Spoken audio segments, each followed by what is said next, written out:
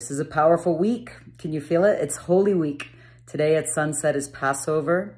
It is also the full moon. I just wrote a blog about the deeper meaning of this holy day and how it relates to us. And then Sunday is Easter, which is all about resurrection and rebirth and renewal.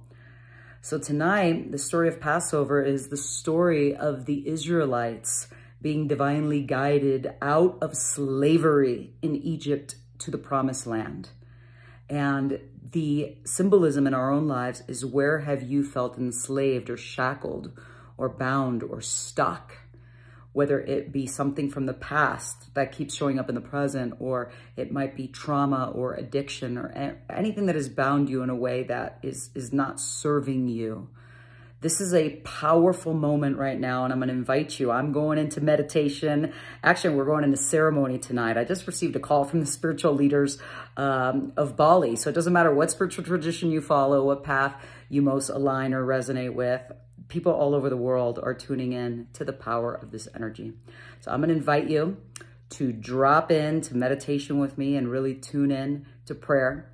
And anything that is not serving you, this is a time for ask for grace and to open yourself up so that you can allow the dissolution of that which does not serve you and to be divinely guided. See, we are all divinely guided. And what happens is that when we're so focused on the things that aren't happening or all the challenges or traumas or, you know, things that are going wrong in the world, we don't experience the power of this divine guidance that is always within us and ever present. So this time right now is a very powerful time to remember, to honor, to have reverence, and to go into the space of prayer.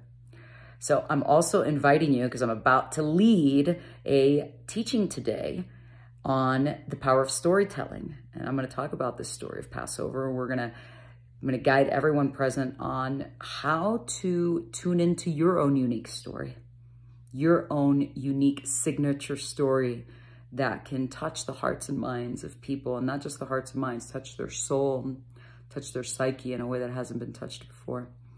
So today I'm going to be leading that course at 11 a.m. Pacific, and you are invited to be my special guest as a VIP.